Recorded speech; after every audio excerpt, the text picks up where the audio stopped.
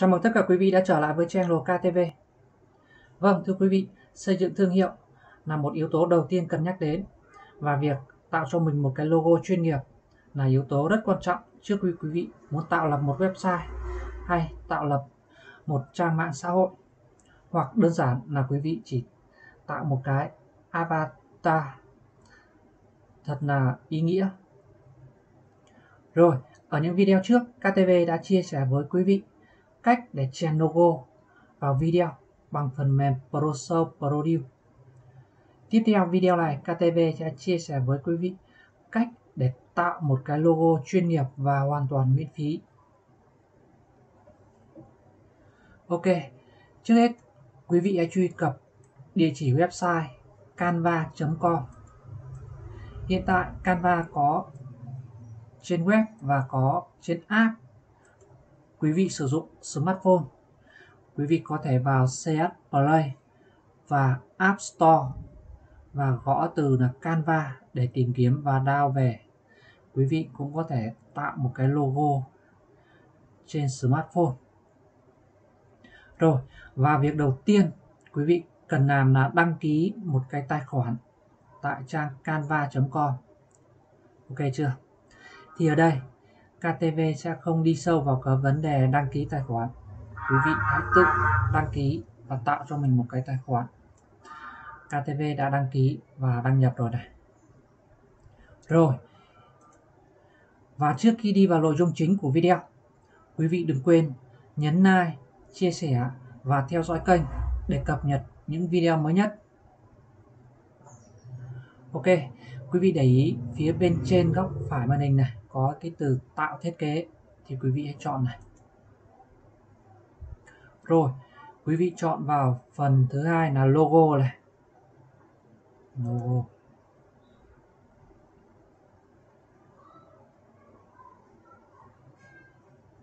Rồi, thì quý vị để ý phía bên trái, cột màu đen. Ở đây có rất nhiều mẫu logo để cho quý vị tùy chọn đó. Quý vị có thể năn con chuột hoặc kéo thanh trượt này. Rất rất nhiều. Ok chưa?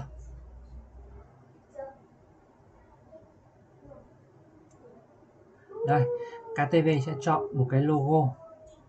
Rồi, ví dụ KTV sẽ chọn cái logo này đi. Click vào này. Đó, thì nó sẽ sang cái màn hình bên phải. Ok, ở đây quý vị có thể thay đổi màu sắc này thay đổi khung hình, thay đổi chữ này.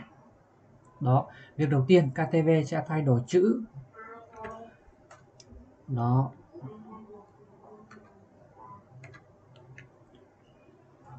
Rồi, quý vị hãy bôi đen chữ này.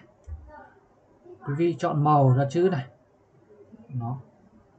Quý vị để ý phía bên ờ, trên này có cái thanh menu này. Đó, tất cả nó ở đây quý vị chọn màu chữ, ví dụ KTV sẽ chọn màu đỏ này. Đó. Quý vị click ra ngoài. Đó, thì nó sẽ lên. Rồi bây giờ KTV sẽ phóng to lên.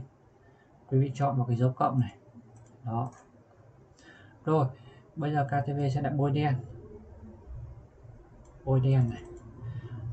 Chọn phông chữ, thì quý vị vào cái phông chữ này. Đây KTV sẽ chọn một cái phông.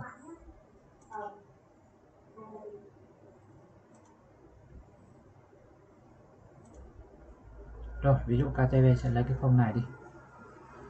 Rồi, quý vị có thể giãn cách chữ này bằng cái biểu tượng mũi tên này. Ở cái phần thứ nhất, quý vị có thể giãn chữ ra này. Quý vị kéo sang bên phải. Đó. Ok chưa? Dòng thứ hai là cái khoảng cách giữa các dòng. Đó. Rồi, quý vị click ra ngoài để xem này. Đó. Rồi, tiếp theo KTV sẽ thay đổi cái dòng chữ thứ hai này.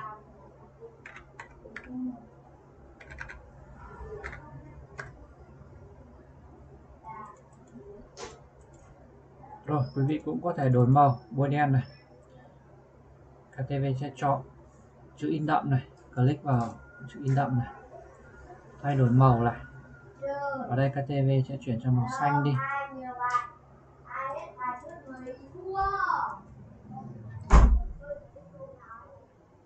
Rồi đến cái phần viền hình tròn. Quý vị cũng có thể bỏ đi. Ok chưa? Hoặc quý vị cũng có thể đổi sang một cái màu khác.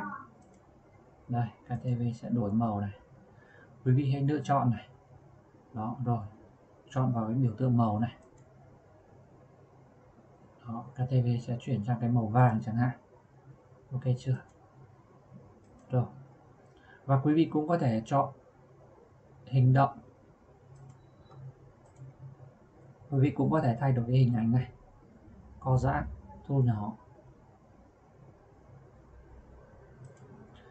Rồi, đến cái phần ngoài cùng này. Quý vị cũng có thể thay đổi cái màu khác đi. Đây KTV chọn này. Chọn vào đổi màu này đó. Thì KTV sẽ cho một cái màu.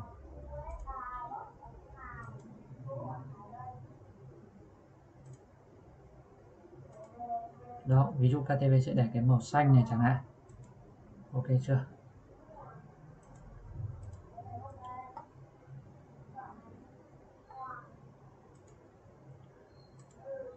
Rồi, về cái phần cái phần chữ này, quý vị có thể chuyển sang chữ chữ động này, thì quý vị bôi đen này, quý vị chọn vào hình động này.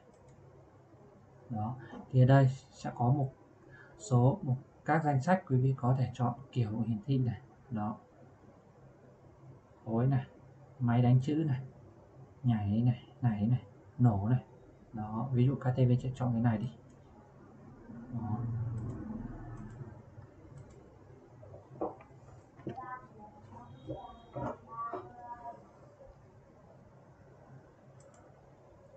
Rồi, và quý vị chưa ưng thì quý vị có thể chọn thêm một cái nữa này. Quý vị vào cái dấu cộng này. Ok chưa? Đó, quý vị vào dấu cộng và quý vị chọn ở bên danh sách này một cái logo đó. Đấy, ví dụ KTV sẽ thử một cái này.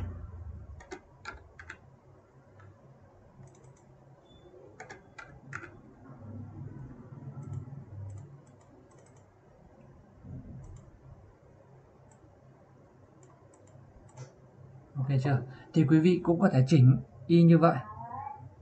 Đó. Và quý vị muốn xóa cái này đi, thì quý vị đẩy cái biểu tượng ba chấm này, quý vị click này, chọn xóa này. Đó. Rồi. Khi đã tạo xong và hoàn chỉnh, quý vị kiểm tra lại hết này. Rồi, quý vị chọn vào tải xuống này. Tải xuống. Ở đây mặc định sẽ là video MP4 bởi vì quý vị chọn cái hình động và quý vị cũng có thể chuyển sang cái đuôi JPG này PDF đó, hoặc là ảnh GIF ok chưa? Thì à, hoặc là PNG PNG thì ở đây KTV sẽ để mặc định là MP4 đó, rồi quý vị chọn vào tải xuống này.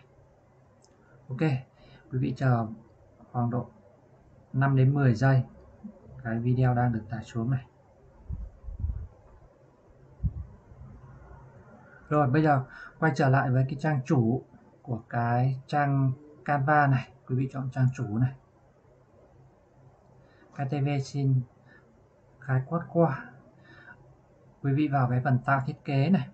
Thì ở đây, họ cũng có rất nhiều các ứng dụng quý vị có thể tham khảo và KTV sẽ không đi sâu về các vấn đề này đó như bản thuyết trình này upfix này, sơ yếu này, bài đăng Instagram này, tài liệu A4 này, màn hình nền, màn hình chính này, video này. Đó. Rất rất nhiều, đó. Đấy. Và hoàn toàn là miễn phí. Tất nhiên, quý vị muốn sử dụng cái bản Pro thì nó là bản trả phí. Đó thì quý vị sẽ được các quyền lợi cao hơn hoặc những cái ứng dụng nó nhiều hơn. Ok chưa? Rồi, bây giờ KTV sẽ mở cái logo mà KTV vừa tạo để kiểm tra này. Đây. Mở này. Đó, quý vị thấy chưa? Thì cái chữ này là chữ động này. KTV sẽ mở lại từ đầu này. Đó. Rồi, và KTV xin kết thúc video tại đây. Quý vị đừng quên nhấn like, chia sẻ và theo dõi kênh để cập nhật những video mới nhất.